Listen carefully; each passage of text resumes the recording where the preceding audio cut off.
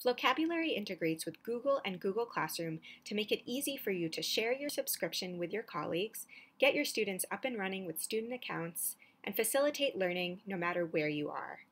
This video walks through all the ways Flocabulary integrates with Google and Google Classroom. So first, both you and your students can sign into your Flocabulary accounts using Google SSO, making it really easy to get started. You can also invite other teachers at your school to your school subscription by importing your contacts from Google and sending invitations to those contacts. That makes it really easy for them to grab that link to the subscription and get up and running themselves. Similarly, when you create a class on Flocabulary, you can get your students set up with accounts and placed in your class by sending them invitations to your class.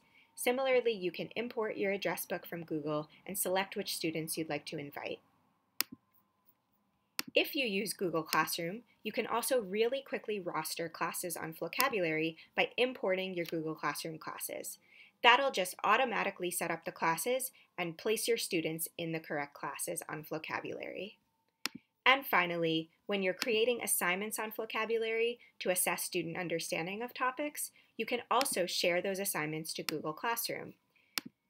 That will post the assignment to your stream and classwork pages for students to see and access directly.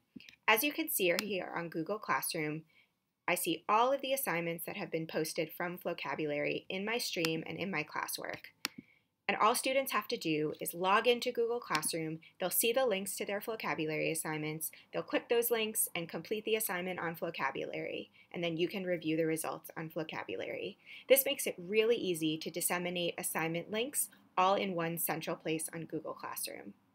If you have any other questions about how Flocabulary integrates with Google and Google Classroom, feel free to reach out to us at support at nearpod.com. Thanks.